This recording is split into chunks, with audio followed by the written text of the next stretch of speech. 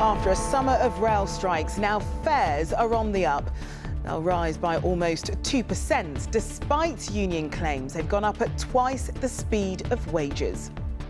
It's just been a nightmare, being delayed all the time, the cancellations.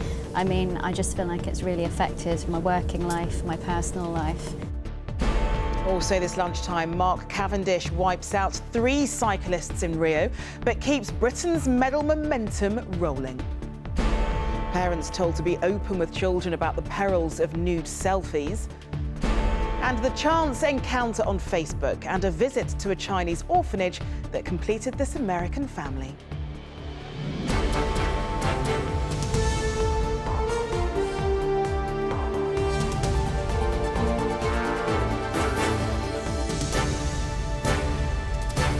This is the ITV Lunchtime News with Charlene White. Good afternoon. It's been a summer of delays and disruption on Britain's railways. Yet today came news that fares in England, Scotland and Wales are going to go up. The rise is set by July's RPI inflation rate, which was confirmed today at 1.9%. It'll be added onto regulated ticket prices, including season tickets, from January. Unions say fares are going up at twice the rate of wages, with commuters having to pay more for less. But the rail industry says billions is being spent on improvement work and it's dismissed calls from Labour to renationalise the network, as Joanna Partridge reports. Different day, same commute. From Monday to Friday, Emma Bryant catches the 6.48 train from her home in Lewes in East Sussex to her work in London, costing her £500 a month. For several months, the Southern Rail service has been plagued by problems. It's just been a nightmare with the strikes, the, um, the times being delayed all the time, the cancellations. I mean, I just feel like it's really affected my working life, my personal life. And there was more bad news for commuters this morning. The Retail Prices Index measure of inflation hit 1.9% in July. That figure's used to calculate next year's increases for regulated rail fares like season tickets. From the 1st of January, an annual season ticket from Cheltenham to London, which costs £9,800 now, will go up by £186. A season ticket from Birmingham to London currently costs £10,012 and will increase by £190 while travelling from Edinburgh to Glasgow costs £3,748 and will rise by £71. The TUC says fares have risen twice as fast as wages since 2010. British commuters already pay some of the most expensive rail fares in Europe. Trains at peak times like this one are often overcrowded and some routes are especially prone to delays. Many passengers feel that the service they get now doesn't live up to the prices they pay. And that's before next year's fare increases. Some accuse the train companies of putting profit and shareholder dividends before investment. We have a, a 50 billion pound uh, railway upgrade plan, uh, which is around a, a, million pounds every hour, every day, uh, to invest in improving the railway, delivering better reliability so people get the information they need, they get a seat, and their trains will arrive on time. Labour leader Jeremy Corbyn launched his transport campaign during morning rush hour. He says a Labour government would renationalise the railways and cut fares. This is not a sensible way of running a public railway system, which we have all paid for through huge levels of public investment in the track and the signalling systems. Renationalisation, if it happens, is still a long way off. For now, commuters who have to travel by train pay their fares and put up with the service they get. Joanna Partridge, ITV News. Well, in a moment, we'll get reaction from our consumer editor, Chris Choi, who's at King's Cross Station in London. But first, our Scotland correspondent, Peter Smith, who's by the Forth Railway Bridge just west of Edinburgh. And, and Peter, you've been spending time with commuters this morning. Is there a lot of frustration over this? A huge amount of frustration. And just to point out this, the Forth bridge behind me now in many ways represents the original ambitions of Britain's railways. When it was completed at the tail end of the 19th century, it was anticipated that rail would be the transport mode of the future, transporting more and more people over further distances and trying to do it faster. People are complaining that the modern rails in 2016 do not, do not live up to that original ambition. We're seeing people complaining that they're essentially paying more money for the privilege of having to stand for the duration of their journey. And just this morning, as you say, I followed one commuter, Ian Birtle, who was travelling from Dalgety Bay on the other side of the Firth of Forth here. He was going to Edinburgh Waverley and he crossed the Forth Bridge here. He paid just over £9 for a return journey and it was about a half hour journey. He was lucky enough to get a seat for the last five minutes, and this is what he had to say to us. They talk about investing that money for improvements, and I think the only improvement I've seen at Dalgety Bay, where I get on, is a, a, a larger platform. And what I've seen since Abellio have taken the company over is that um, trains are actually reduced in size and not any longer. As I mentioned earlier, this is a, normally a six carriage train. It's down to four carriages and, and today it's down to three carriages and you can see obviously there's quite a lot of people standing you just have to search the, um, the, the, social media feeds for ScotRail. This is the, the franchise that runs the rails here in Scotland, and you'll find that this is a common complaint. People are saying that the carriage numbers have been cut back. I asked ScotRail about this. They say they're not hiding carriages. All of the, the carriages that they have at their disposal are on the rails just now, and they say they are investing in this. They say that within the next couple of years, there will be 20,000 more seats on Scotland's rails. They also say they have been investing in free Wi Fi, so if you're unhappy about having to stand for your journey, you could always email them on your commute to complain. Peter, thanks very much. Well, let's talk now to Chris, who's in London. And Chris, we've heard from many commuters complaining that the service is getting worse. Is that the case, though? Do they have the right to be upset? Well, Charlene, I've, I've been looking at the very latest figures, which uh, are for punctuality over the last four weeks. And actually, the number of trains on time has gone down a little.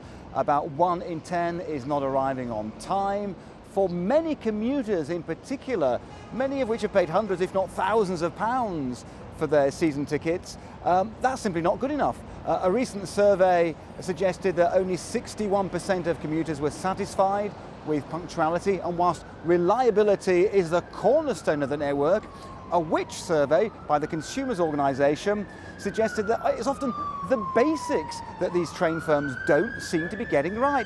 Clean trains, clean toilets. And as we heard there with Peter and the passenger, often overcrowding is a big problem and is undeniable within this industry. Well, you mentioned the, the basics, Chris, and renational, renationalisation is a word that tends to get used quite often when we're discussing this, and that's what Jeremy Corbyn is asking for. But is that the answer? Well, it, it, comes round with the kind of regularity that any train firm would envy. Every time fares go up, you can guarantee that somebody will start shouting about renationalisation. Of course, this time round, fuel has been added to the flames by new research from unions suggesting that shareholders' take has gone up 21% over the last year to 222 million pounds. The problem with renationalisation is it's very expensive potentially. It would take a mountain of taxpayers' money to buy out the existing rail contracts. The only alternative, and this is something that Jeremy Corbyn has been talking about today, is to wait until the franchises already in place finish. Uh, but that could be a very long wait indeed. Some of those contracts go on for 19 years, so it could potentially be a solution, but certainly not a quick one. And one thing we know about rail passengers is they don't like waiting. Indeed, Chris, thank you very much. Well, if you want to know how much your rail fare has gone up by, there's a complete guide on our website. That's itv.com slash news. There's a prospect of another medal rush for Team GB at the Olympics today, with golden chances in the sailing, cycling, and gymnastics later. But the standards of the last week or so, by, by the standards of the last week or so, yesterday was relatively quiet for Britain. But the cyclist Mark Cavendish did win a silver in the velodrome after Charlotte Dujardin won her third Olympic gold in the dressage. It maintains the momentum at what is fast turning into one of our most successful games ever, as Sally Biddulph reports. Another day and more success for Team GB. It was a huge night for cyclist Mark Cavendish, realising his dream of an Olympic medal with the silver in the men's omnium. Let's have a look at it here now. Oh, It could have all been very different though, as minutes into the points race, the Manxman crashed into another rider, taking out three, including the leader and eventual gold medal winner, Italian Elia Viviani. The race was momentarily stopped. Cavendish on the wheel. But Cavendish held his nerve and his decision to pull out of the Tour de France early to concentrate on Rio seems to have paid off. His silver followed a third Olympic gold for Charlotte Dujardin with a near perfect dressage routine. She retained her title from London 2012 and was overcome with emotion when she won. Our women's hockey team also had a good night, winning their semi-final against Spain 3-1. They are now guaranteed a medal as they take on New Zealand in the final tomorrow. Attention this afternoon, though, turns back to the velodrome with British cyclist Jason Kenny going for his sixth Olympic gold in the Keirin, a race he's favourite to win. If successful, he'll equal Sir Chris Hoy's record. His fiancée Laura Trott will then follow for her fourth Olympic gold in the women's Omnium. She's leading at the halfway stage. This golden couple of cycling could make history in the next few hours. Sally Biddulph, ITV News. Well, aside from Team GB, there was lots of other action in the stadium overnight, including a dramatic finish of the women's 400 metres final. The Bahamian sprinter Shaunae Miller looked like she would be caught on the line, but a dive meant she got there first ahead of the American Allyson Felix. She said she had a few cuts and bruises, but it was worth it. And the host nation Brazil won their first gold medal of the Games after a stunning performance from Thiago da Silva in the pole vault. He broke the Olympic record on his way to winning gold. Well, our sports reporter Amy Lewis is in Rio for us this lunchtime. Amy, what can we expect from Team GB today?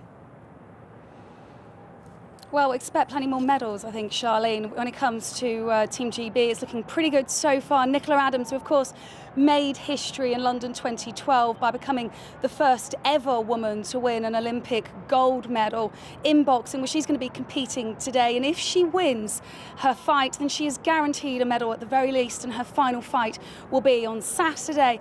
Also, today in the sailing out on the water, we're going to see Britain's Giles Scott. He's already guaranteed a gold after earning enough points on Sunday. He's going to be competing out on the water in the Finn class, the same class that Sir Ben Ainslie won gold in back in London. Also today, as Sally mentioned, uh, Laura Trott is going to be competing in the cycling in the velodrome in the women's Omnium. She's after a fourth gold medal. And then finally today in the athletics, Laura Muir, she's going to be competing in the 1500 metres. She is ranked second in the world, so expect her to win a medal.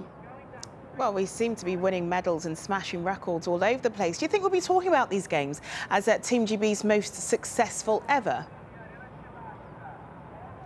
We're certainly looking that way. The aim for Britain is to have the most successful away games. Just to put that into context, they need to beat what they did in Beijing, which was 47 medals overall. If you look at the medal table at the moment, we're second, which at this stage is pretty incredible. At the moment, we have 41 medals at the end of day 10. At the same stage in Beijing, we had 27, so we are way ahead of schedule. And then if you look at London, which was our most successful games overall, home or away, at this stage we had 40. So, so far, so good, and there's still six days to go. All right, Amy, thank you very much. Still to come, while the NSPCC is warning parents to be aware of explicit texting between teenagers. And the remarkable reunion in China made possible by a chance sighting on Facebook. A new report has highlighted a substantial increase in hospital waiting times in England on, and on the day cancellations of operations. The Patients Association says it's concerned about the psychological burden it causes those who have to rearrange procedures at the last minute. The government, though, says the figures are misleading. Well, our political correspondent Paul Brand is at Westminster for us. Paul, what exactly has the Patients Association said today?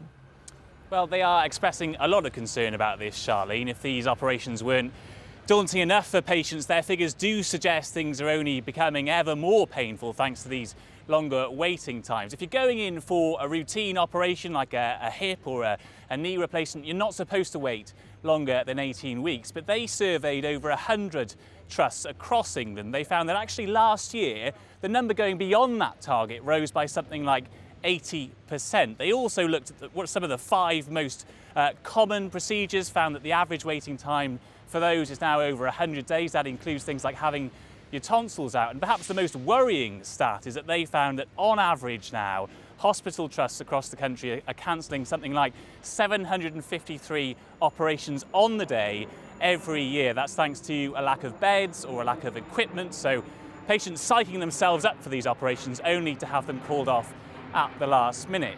Now, interestingly, the NHS only scrapped just last month fines for hospitals who break these targets. That's because, quite frankly, hospitals cannot afford to pay them. Too many of the uh, hospitals in England are uh, in the red. The Department of Health, though, saying these figures are incorrect. They say 9 out of 10 patients uh, are seen within 18 weeks. However you look at the stats, though, they will feel pretty painful for a lot of patients. OK, Paul, thank you very much. Labour MP Simon Danczuk has been arrested in Spain following an alleged incident involving his estranged wife. He spent the night in a police cell in Alicante. He was suspended from the Labour Party last year after allegations about his private life. Seven people have died and more than 20,000 rescued after record flooding in the US state of Louisiana. Thousands more are in shelters in the state's capital, Baton Rouge, after two feet of rain fell over the last three days. And 15 inmates from Guantanamo Bay prison have been transferred to the United Arab Emirates in the largest single transfer of detainees in Barack Obama's presidency. Some had been held without charge for 14 years. President Obama had hoped to close the prison in his first year of office. The NSPCC is warning parents that they need to discuss sexting with their children because it's becoming more and more common and causing more distress. The children's charity says the sharing of explicit photos online is on the rise, and its latest report reveals there are 1,400 cases of sexting reported to Childline each year. That's a rise of 15% from a year ago. And while most parents surveyed believed sexting is harmful, six in 10 haven't discussed it with their children. Well, joining me now is Alan Wardle from the NSPCC. Thank you so much for coming in. Do you think it's a situation that where parents just need to get better at talking about sex and sexting, of course, with their children? Well, this is one of those conversations that parents don't really want to have, but really ought to similarly to things like underage drinking or drugs. We know that um, this issue is on the rise. We know that parents are worried about it, but parents aren't very good at talking to their children about it and actually helping children understand what the risks are, what can happen if these images go out of their control, and what they can do about that is really important. I guess for a lot of parents, they'll sit there and sort of think, yes, but my child wouldn't do something like that. But is it important that they err on the side of caution? Absolutely. And not all children are doing this, but some are. They're sending images themselves or they're being sent images themselves that they don't necessarily want to see. And it's really important that children understand and realise that these images can be could get out of their control. They can go around the school, which can be really humiliating, humiliating, or even worse, can get into the hands of a sex offender. So it's really important that parents have these conversations with children, and the NSPC is, NSPCC has just launched a guide today to help parents have that conversation. And a lot of parents, whether or not they realise, but you could actually be committing a crime by sexting, couldn't you?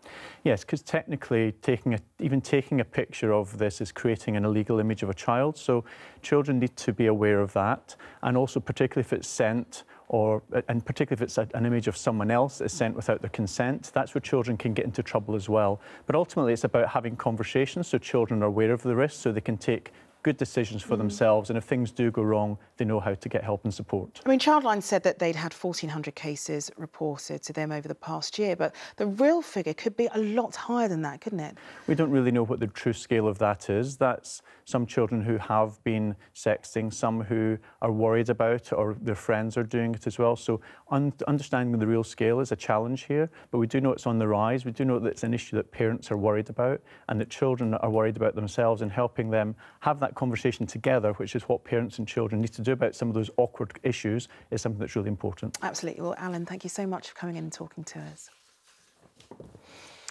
And finally, it was a chance encounter on Facebook that led to the most remarkable reunion today. American mum Lisa Lumpkins adopted a child from a Chinese orphanage three years ago.